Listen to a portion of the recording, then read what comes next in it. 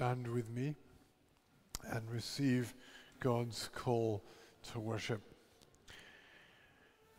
O come, let us worship and bow down. Let us kneel before the Lord our Maker, for he is our God, and we are the people of his pasture and the sheep of his hands. Amen. Well, would you please take your hymnals and uh, turn with me to hymn number 34, hymn number 3 4. Stand up and bless the Lord.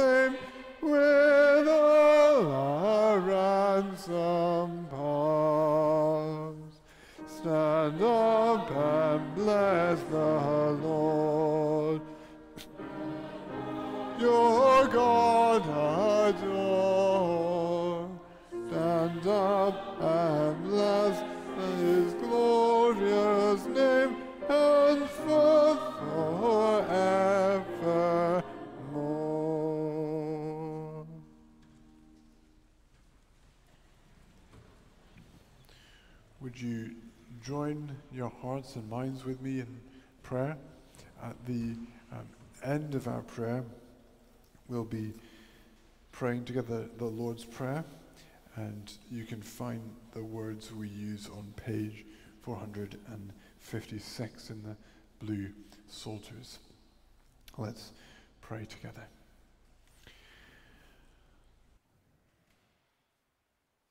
O Lord, our God, glorious, mighty, you are the conquering King and also our loving Heavenly Father.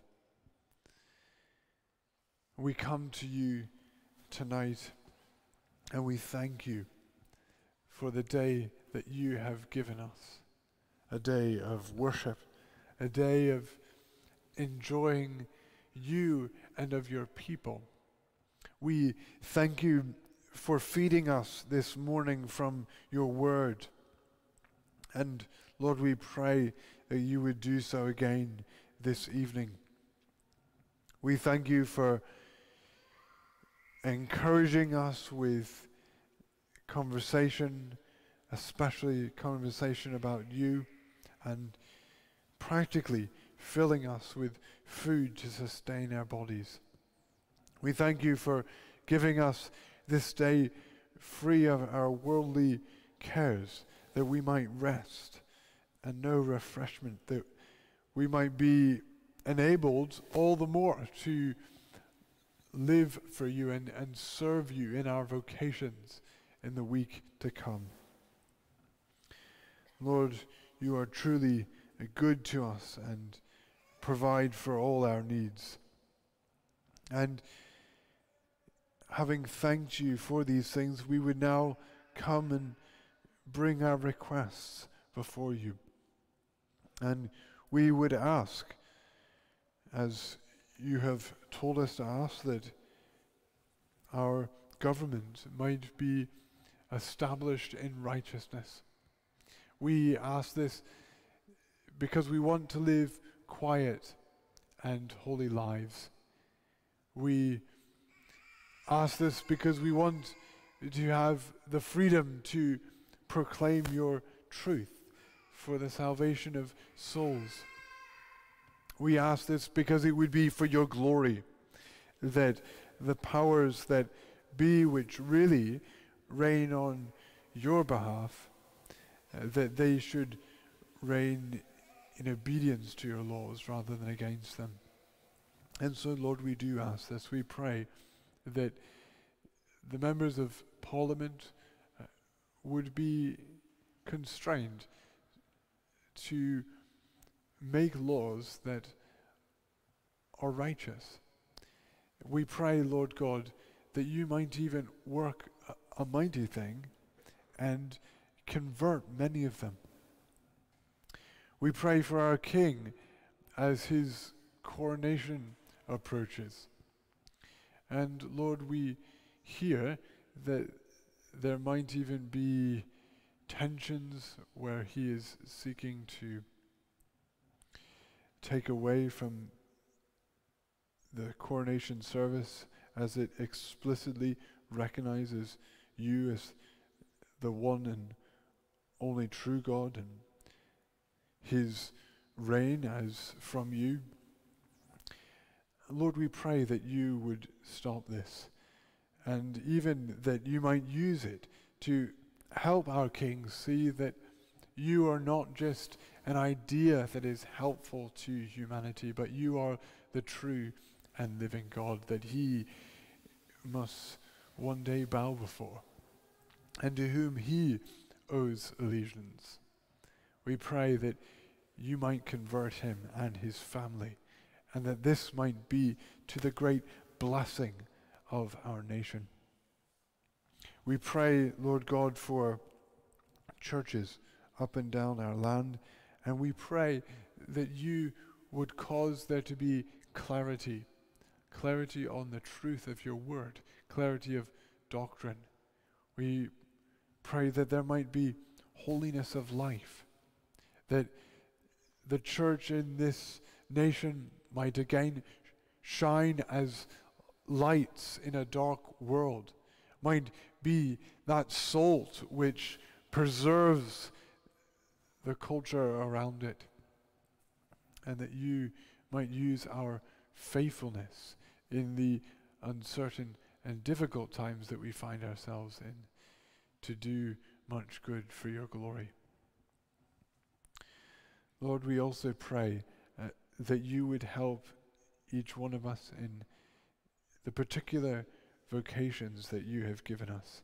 There are many represented here, and we pray that you would give us what we need to act honorably, to uh, work in such a way that shows that we value uh, the work that you have given us, that we recognize that work itself isn't bad, but it is something that you have given us to do.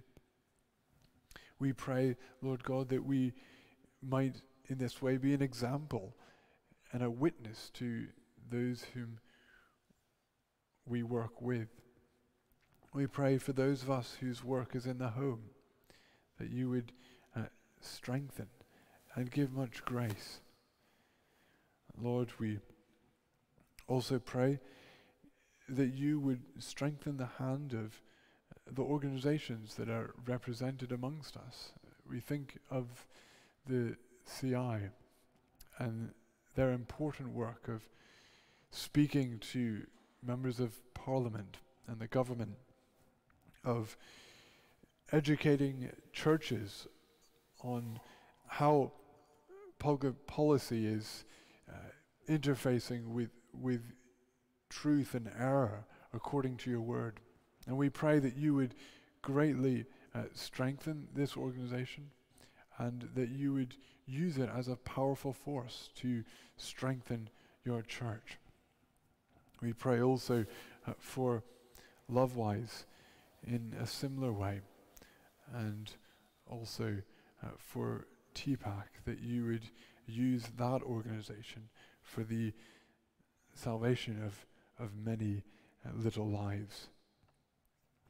Lord, we, we thank you for the members of our congregation who serve in these various organizations, and we pray that you would encourage them and uh, use them in their particular roles.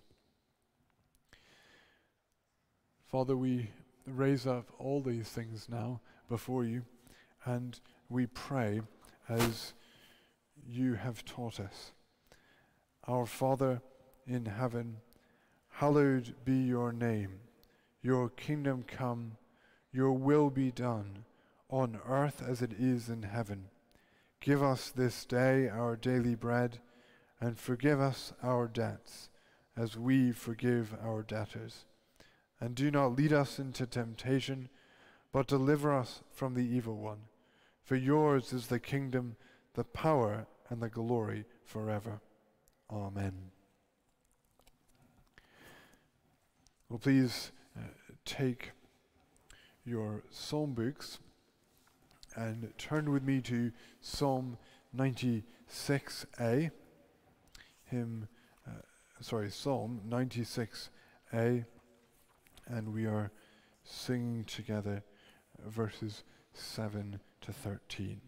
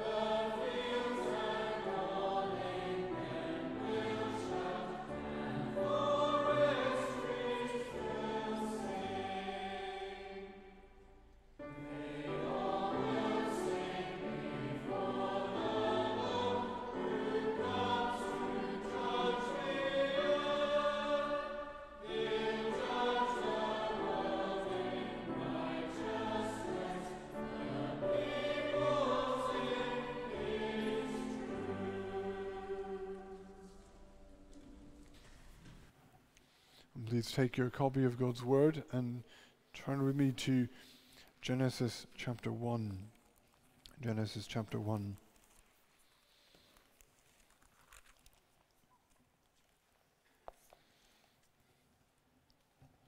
Genesis chapter 1 and beginning in verse 26.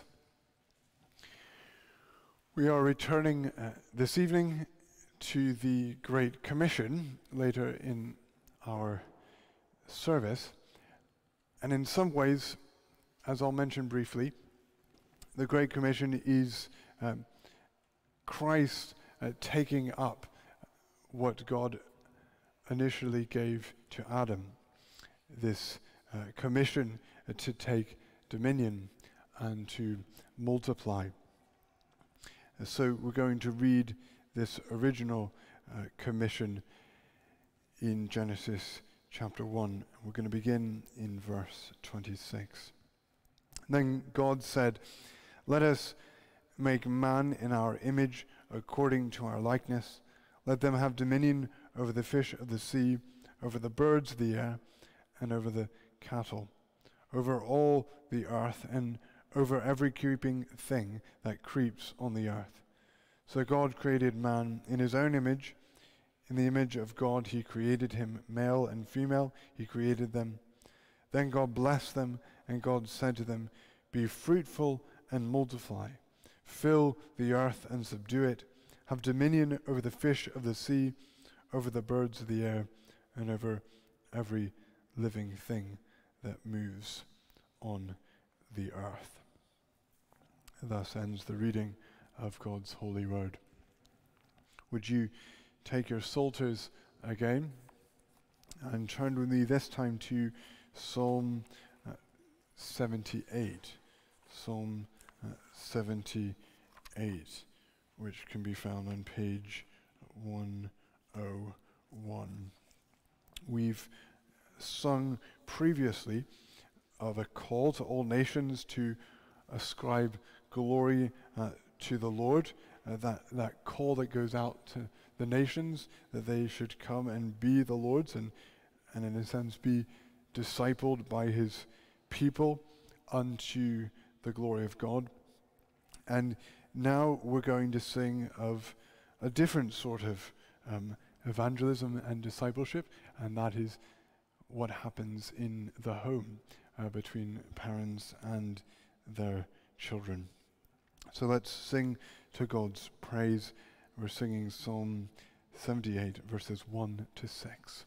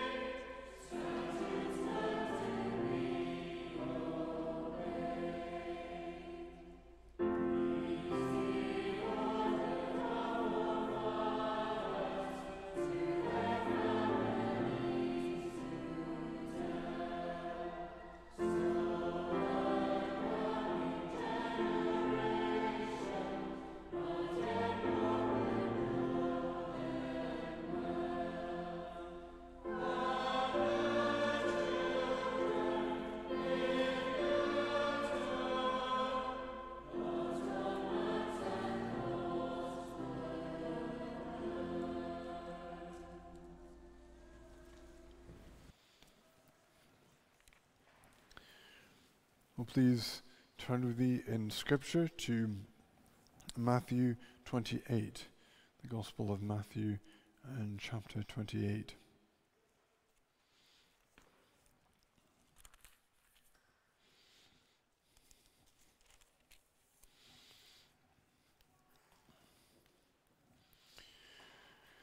We'll begin the reading in verse 16, but before we do so, Let's ask for God's help.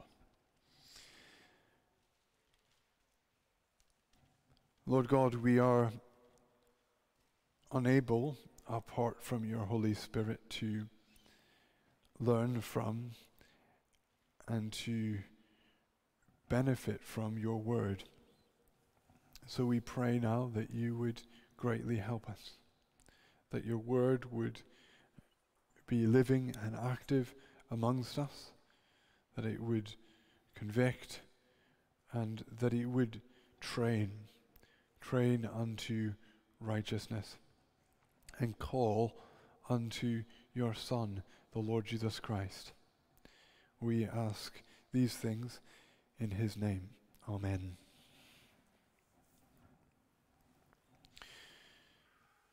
Matthew 28, beginning in verse 16. Then the eleven disciples went away into Galilee to the mountain which Jesus had appointed for them. When they saw him, they worshipped him, but some doubted.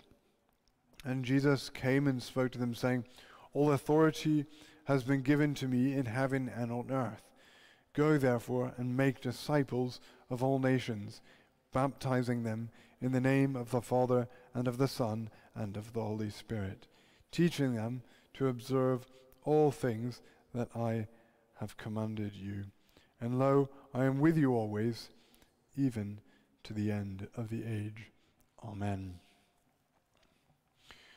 Those of you who were with us on Easter Sunday will know that I preached from Matthew 28 and also that I am between uh, evening sermon series. And so I've taken this opportunity to, to preach uh, something out of the norm and to return to this passage because it's something that I've been thinking about more recently. And in particular, I want to draw out the idea of making disciples, of making disciples. So, really, I'm going to be focusing on verse 19 and the beginning of verse 20. Verse 19 and the beginning of verse 20. This commission here that Christ gives as the one with all authority in heaven and earth to his disciples, this commission is the mission of the worldwide church. But we, here at All Saints Presbyterian Church, we're a part of that worldwide church, and therefore uh, this is our mission as well. It speaks to us and, and applies to us here in our particular circumstance. Why would we uh, look at this apart from the fact that Christ has given it to us? Well, part of the reason, surely, is that by reminding ourselves of the things that we know, that we might be refocused on the task that Christ has given us. And also that we might have a renewed sense of purpose and direction, individually and as a congregation. It should also lead us to God Himself for help because none of these things are things that we can do of our own strength. If you don't know Christ tonight, if you aren't in a, a living relationship with Him, this sermon hopefully will give you a clear sense of what we are about at All Saints Presbyterian Church, and so you will be under no illusions about these things. So then, this passage gives us the what of what Christ has called his church worldwide to do, and the how. The what and the how, particularly of making disciples. That's my title this evening, Making Disciples. And my points are go and make disciples, point one. Point two, baptism. And point three, teaching. The first point is the what, and the second two points are the how. So, we have this mission from Christ Himself to go and to make disciples. This is what the church is to be doing in the world. And this is the command that Christ gives his disciples. And it's a command that is deeply rooted in God's work of redemption in this world. I mentioned earlier in our service that God told Adam to go take dominion and to multiply. He told that to Adam and Eve. And Adam failed. As many of you know, he failed to, to do this task as God had commanded him to do. And so Christ comes as this last Adam, as the second Adam, to take up this task of taking dominion of the world and multiplying God's people. Now, we are not Christ, but we do share in his mission. And our part, our part in Christ uh, taking dominion over this world and multiplying worshippers of God is to make disciples. That is what he is saying as the new Adam, as the one who has authority in heaven and on earth from his Father. We are to make disciples. Now, to understand that, we need to think a little bit about what discipleship is. What is discipleship? Well, it is a whole life commitment to a master and his teaching. It's a whole life commitment to a master and his teaching. Think of Jesus as he walked there on the side of the sea and called his disciples. Many of you know the stories. Your children will remember the stories as he spoke to James and John and to others. And he said, Come, follow me. He was saying, not just join my club, not just, uh, you know, spend a, a little time with me. What was he saying? He was saying, leave your families, leave your livelihood, come live with me and learn from me. Learn from me in the context of every day, of all of my life. It's a little bit like the way apprenticeship used to work. Now uh, you have an apprenticeship like a job or something like that, but it didn't used to be like that. A hundred years ago, a couple hundred years ago, an apprentice would go and live in the house of the, the master craftsman, and uh, he would learn from him all sorts of things. Uh, things to do with the trade that they were learning, but also things to do with, with life. It was, a, it was a whole life commitment. And that's the way discipleship is. Uh, it's a whole life commitment. So it's not just about being a student, it's not just about learning things, but it's about change in one's entire life.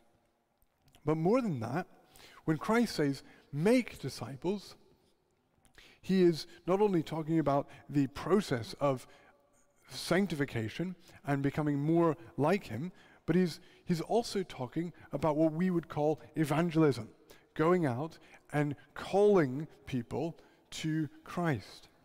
And so he's talking about a package which begins when someone is called to Christ and goes on throughout the rest of their lives as they are shaped and formed by Christ through his word and by his spirit. As they are trained in righteousness, in biblical thinking and living. And I submit to you that this is of particular importance today, particular importance in the context in which we live. We live in a pluralistic society which has all sorts of ideas about how we are to live, about what is truth. And we live in an increasingly anti Christian society where we might have expected society to generally back up the values and ideas that we find in Scripture, maybe a hundred years ago or something like that, we can no longer count on this. And so, for the average Christian, you, I, need to be thoroughly trained in what we believe and how we are to live it out if we are to really be Christ in this context in which we live. On Thursday, John and I went to a, a wonderful lecture that was put on by the CI on critical uh, theory. Uh, an idea, a group of ideas that has infiltrated our, our culture in, in powerful ways and is behind much of uh, the um, identity politics and other craziness that's going on in our society. And one of the questions that was asked was how did we get to this place? Uh, how did we get to a point where uh, crazy things were being said, like, like that a, a man can become a woman or something like that? Part of the answer, surely, is that the church has not been discipling its people. And, and that was brought out actually in that session that there was a whole generation of, of people who were truly won for Christ. Uh, but the focus was so narrowly on the doctrines of salvation that then they went out into life and into social work, into other things, and, and they just imbibed teaching from the world, and they didn't consistently apply their, their biblical faith to all of life, and therefore they have been susceptible to all sorts of wrong and worldly thinking. This is why the church has not been speaking plainly and clearly to our culture over the last several decades in particular. Discipleship, therefore, is of particular importance today. And discipleship is the only way we will be equipped to be salt and light in this world, to really be a preserving influence in it, and a beacon of, of truth in an increasingly confused time. More importantly, even, Discipleship is necessary for the glory of God. We read in the Gospel of John that God is glorified when Christ's disciples bear much fruit. By this my Father is glorified, that you bear much fruit, so you will be my disciples. As our lives are discipled under Christ, this is how we glorify God in the world. And those who claim Christ but are just like the world or don't really know what they believe or why they believe it and how it is different than what the world believes, Christians like that will not really be able to let their light shine before men, that the world may see our good works and glorify our Father in heaven. So, do you see that discipleship isn't only about standing firm in a culture which is increasingly going away from Christ, but it's also about bringing glory to our Father in heaven. It's what enables us to do this. Discipleship is not optional, it's vital for us to fulfill our purpose. And what is our purpose? But to glorify and to enjoy our God. However, discipleship is not limited to strengthening the believer and helping him live consistently in this world. The command here is to go and make disciples disciples must be called. You'll know Romans chapter 10, verse 14. How then shall they call on him in whom they have not believed? And how shall they believe in him of whom they have not heard? And how shall they hear without a preacher? Disciples must be called. And here in our passage, Christ says, Go therefore and make disciples of all nations. This tells us that the gospel is not bound to one culture. He says, disciple all the ethne, disciple all the nations. Here is our great foundation for, for missions, for, for going out to those who do not know Christ. This is also reminding us that there is no one above or below the gospel. The gospel is to all. And this means that Christ's church is to be outward looking.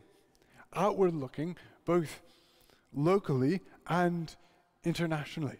We are to be not just in our holy little huddle becoming more like Christ, but we are to be those drawing others in to be more like Christ with us, to join in this process of discipleship. We are to be making disciples.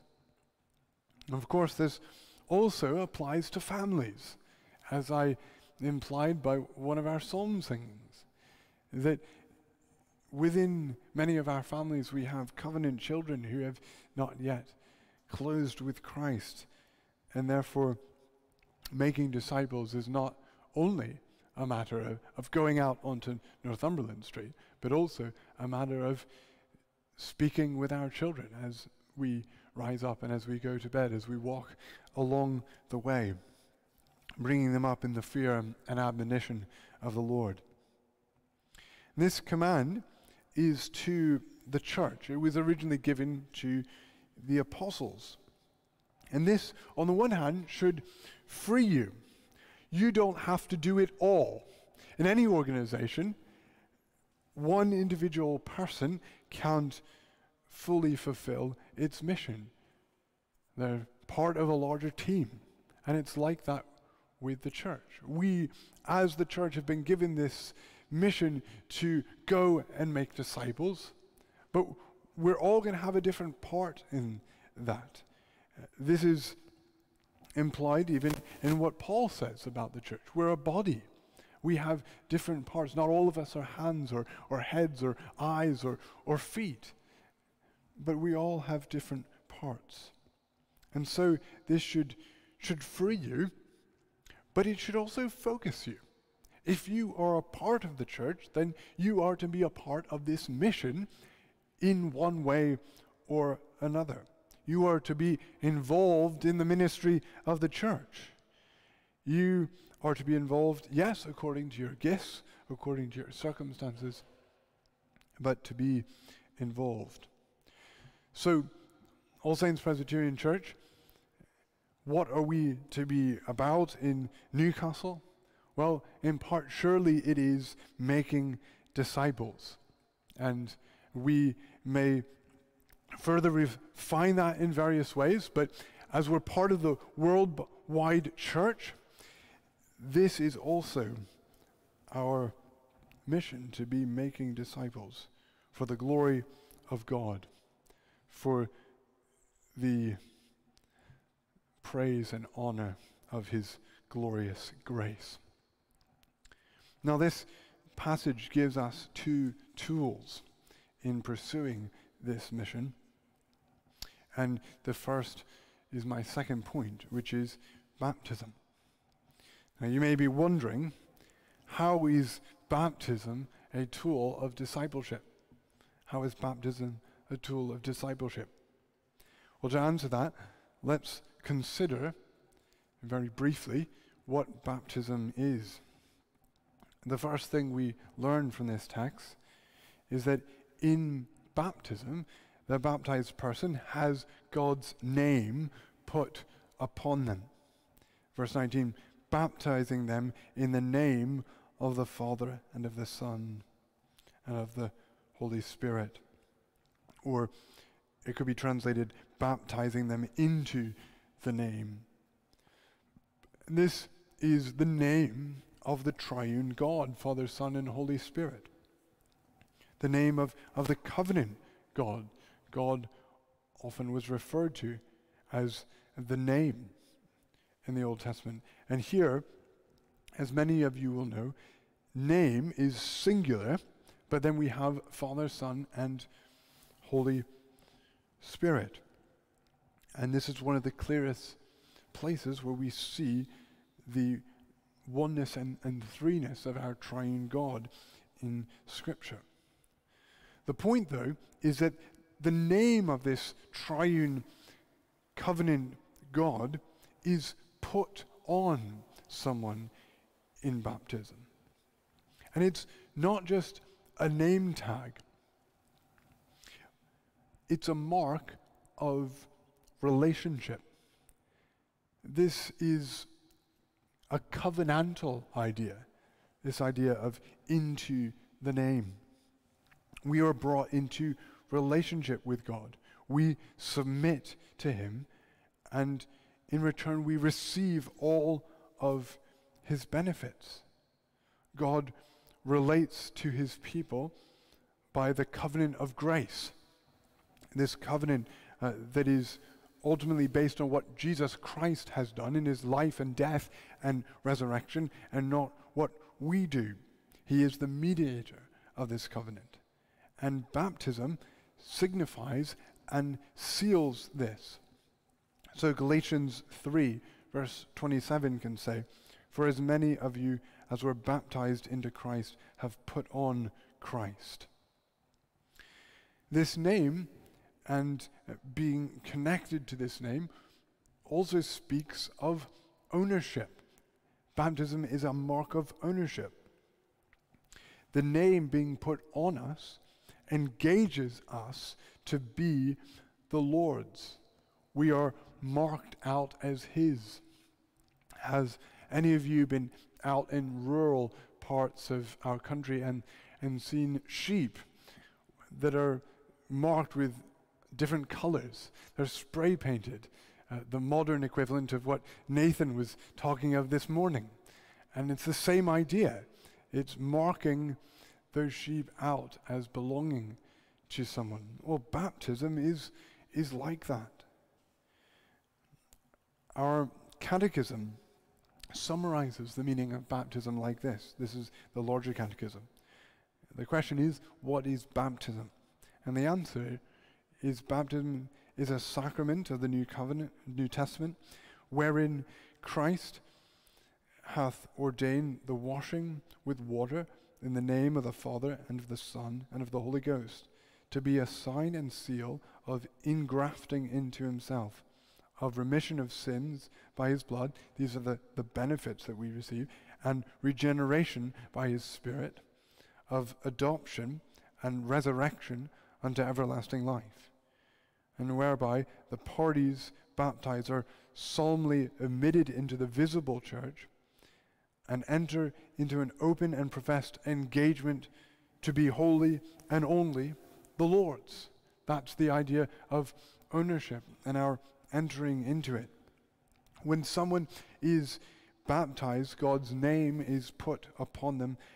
They are outwardly joined to Him, and their baptism symbolizes their receiving all of His saving benefits in Christ they are also engaged to be His.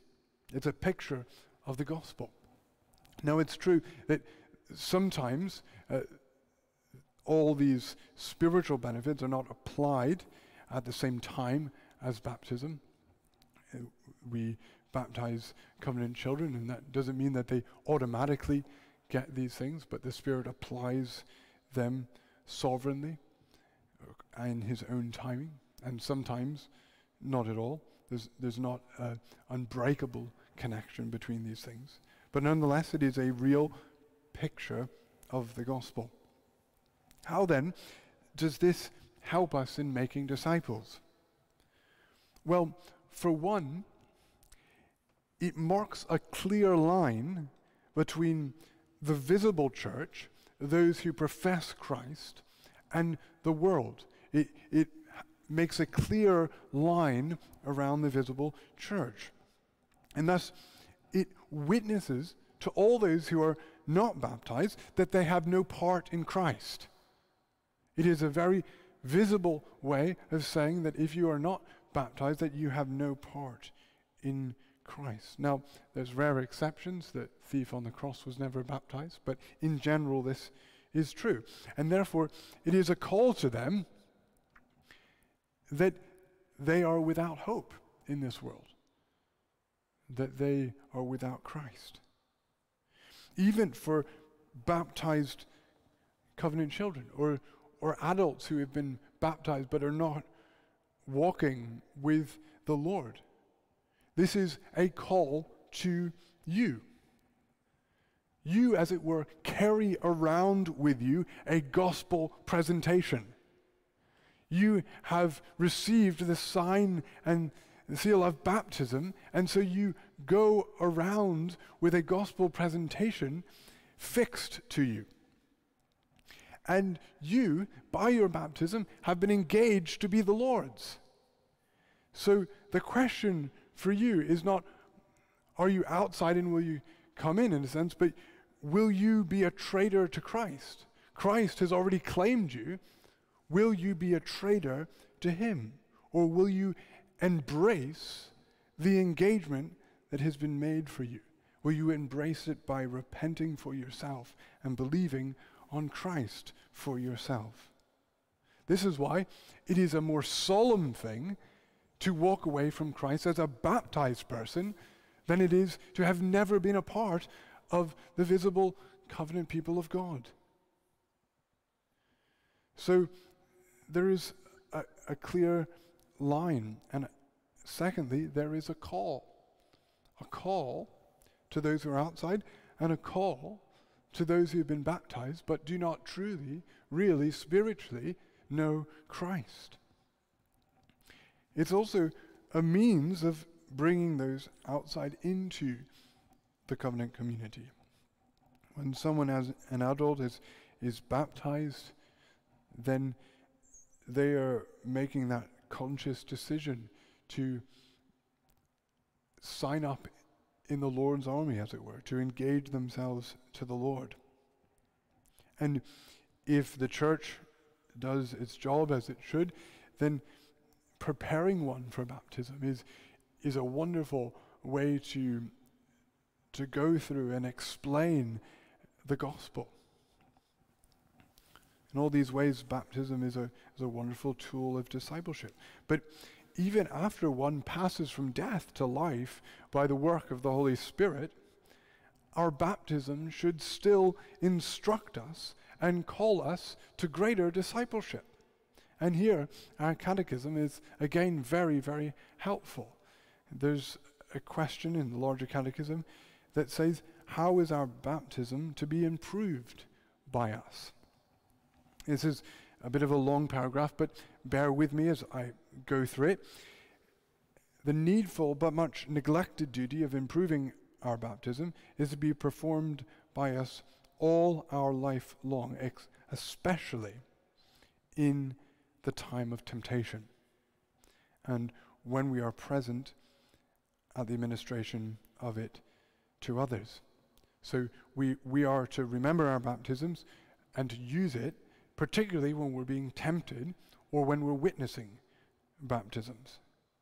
And how are we to do it? We're to do it by serious and thankful consideration of the nature of it, of what it points us to of the gospel, of everything that we receive in Christ, and of the ends for which Christ instituted it, are being brought into his church and it being a means of our salvation, the privileges and benefits conferred and sealed thereby, and our solemn vow made therein. By being humbled for our sinful defilement Baptism signifies our cleansing uh, spiritually by the Holy Spirit, and therefore it implies that we, by nature, are defiled, are falling short of it, and walking contrary to it, to the grace of baptism and our engagements. By growing up to assurance of pardon of sin and of all other blessings sealed to us in that sacrament. So it's to encourage us to seek the assurance of the things which it points to. And by drawing strength from the death and resurrection of Christ, into whom we are baptized, for the mortifying of sin and quickening of grace. So as we are joined to Christ, and his baptism points us to that, this is our power for overcoming sin. It's to remind us of that. It's to, to strengthen us in our fight with sin by endeavoring to live by faith, to have our conversation in holiness and righteousness. That's our lives in holiness and righteousness. As those that have therein given up their names to Christ and to walk in brotherly love as being baptized by the same Spirit into one body. So we could spend a whole sermon just exegeting that, but, but you see, there, there are all sorts of ways that our baptism helps us as we fight with sin, as we, as we seek to follow the Lord in this life, as, as we grow in discipleship. The nature of baptism shows us how it ought to be a tool of discipleship. We see this in that we are baptized into the name of God. It, it points us into being brought into relationship with God through Christ, and thus points us to the gospel. Baptism functions as a marker of the visible covenant community of Christ, and thus calls the world to Christ, and calls those who are part of the covenant community but not inwardly Christ to repentance and faith. And it points to the gospel for all of us. And we should use this to be reminded of it and our commitments to Christ. We need to recover baptism as a significant tool of discipleship in the church and in our lives. So if you're here and you're an unbeliever tonight, then feel this call that if if you do not have this mark that you are without hope in this world. This is a call to you to close with Christ. Covenant children, feel the weight of the responsibility that is upon you. You have been engaged to be Christ's. It is your responsibility to grow up into that engagement. You have no other option. It is what God is calling you to do. Seek Him for the true spiritual reality of your baptism, that it might be applied to you. Are we as a congregation praying for more baptisms, that we might use them as means of discipleship? Are we praying that God would make the baptisms of our covenant children effective? Parents, are you, are you using your children's baptisms to remind them of of their engagement, of, of the gospel that has been uh, put upon them, as it were, that they must embrace for themselves. What about your own baptism? Are you letting it point you to Christ? Are you reminding others of their baptism in their times of temptation and of trial? Baptism is, is one of the tools that Christ gives us here for discipleship. But the next tool, my third point, is teaching. Verse 20 teaching them to observe all things that I have commanded you. This is more obvious as to how it is a means of discipleship. So I want to focus on the what, what we are to teach, in order to show how useful of a tool it is, and the who, who is to teach both to exhort you to receive this tool and also to use it. So, the what? We are told that the church is to teach all things that I have commanded you. That is, all things that Christ has commanded us. Or it could be translated, all as much as I have commanded you. And I think it's, it's right to generalize here to all of the Word of God. We know that it is the Spirit of Christ who has inspired all of Scripture. It is Christ by His Spirit that has given us all of Scripture. And so the church is just disciple by teaching all the Word of God for all of life. All the Word of God for all of life. Our teaching is to include doctrine. Who is God? Who is man? Who is Christ and what has he done? How should we see creation? What does salvation mean? What is the church? Where is this world going? We need to know all of these things and teach all of them in a full way. We need to be teaching ethics. The church, church must teach on marriage, on family, on how to work for the glory of God, how to interact with various ideas in our culture, every aspect of life. And this teaching is, is not just focused on the head, it is focused on life transformation. Teach them to observe all the things I have commanded to you. To, to keep them. It, it's an ongoing idea of not only receiving these things, but holding on to them. It speaks of a lifestyle. One of the differences between a lecture and a, and a sermon is that a lecture aims at conveying truth, but a sermon amongst other things, aims at conveying truth for the purpose of changing lives. And this sort of treating, teaching is more like a sermon. We need to know all these things. We need to know our God, and we need to know these things that we may live faithfully for Him in this world. And again, that's incredibly important at this point in our post Christian society. The fact is, we will either be discipled by the world or we will be discipled by Christ through his church. And this tool that Christ has given us for discipling is teaching, teaching all that the scriptures say about what man is to believe concerning God and what duty God requires of man. And when we do that, it will ensure that we are discipled by Christ. It will ensure that we are able to stand. It will ensure that we grow in assurance. It will ensure that we grow in knowledge of God and, and love of Him. Do you see the usefulness of this? I invite you, if, if you think there's holes in the teaching of our church, if there's things that, that you want to know about how the, the Bible applies to this area of life, come and speak to the elders. We would, we would love to, to help you understand the implications of, of the scriptures for these things, whether that's publicly in, in teaching or in pastoral care.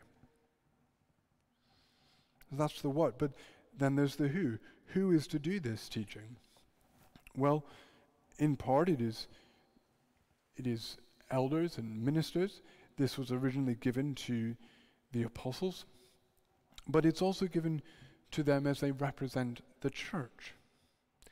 And here I think Ephesians is, is helpful to us. Ephesians 4, it says, And he himself gave some to be pastors and teachers for the equipping of the saints for the work of ministry, for the edifying of the body of Christ, till we all come to the unity of the faith and of the knowledge of the Son of God, to a perfect man, to the measure of the stature of the fullness of Christ. But did you notice that he gave pastors and teachers not just so they might do all the equipping, but that they might equip the saints for the work of ministry, so that the saints then minister and further equip. So this teaching is to be done, yes, by me as your minister, by the elders, but we are to be teaching each other. And in our families, husbands are to be teaching their wives and their children. And mothers are be to be teaching their children. To do this, we must first of all know Christ. If we don't know Him personally, then we will just be teaching a bunch of ideas. We need then also to know the content of the scriptures. We need to know the truth in order that we can pass it on to others. And we need to be intentional where we have responsibilities as elders or fathers or others that we need to be intentional about teaching the truth of God's word. But there's also another application here from this tool of teaching, and that's that you must be receptive to being taught. Listen to 1 Peter 2. It says, Therefore, laying aside all malice, all deceit, hypocrisy, envy, and all evil speaking, as newborn babes, desire the pure milk of the word, that you may grow thereby. This, this tool for discipleship is for your growth. And that it might be effective, you should be receptive to that. Teaching of God's word is one of the primary means of discipleship that Jesus has given his church.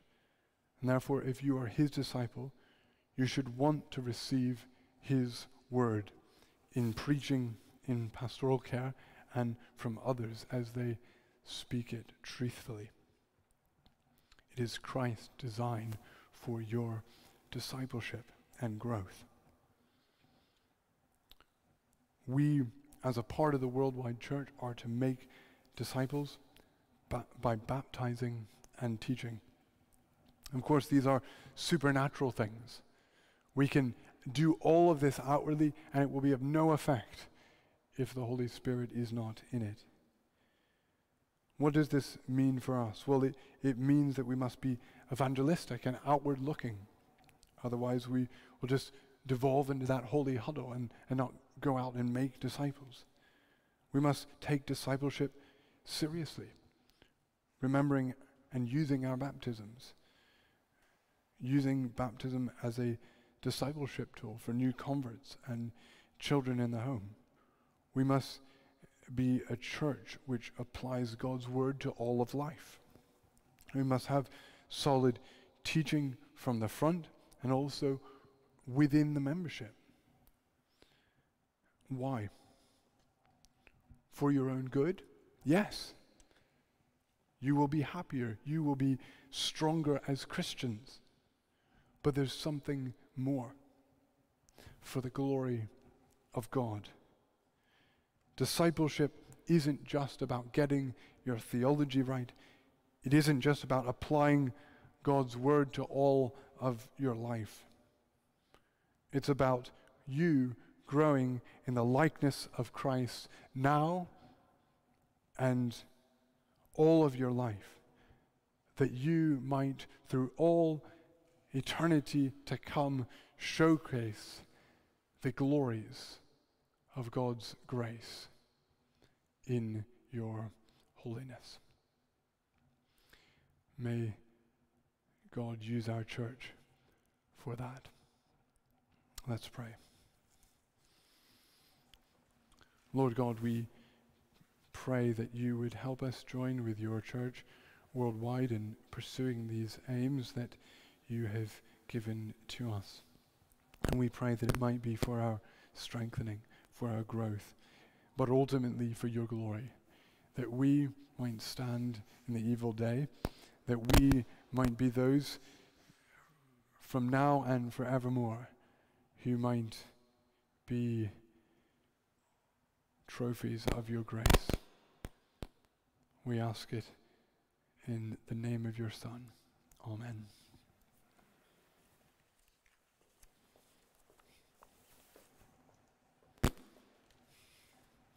Would you take your hymnals and turn with me to hymn number 171?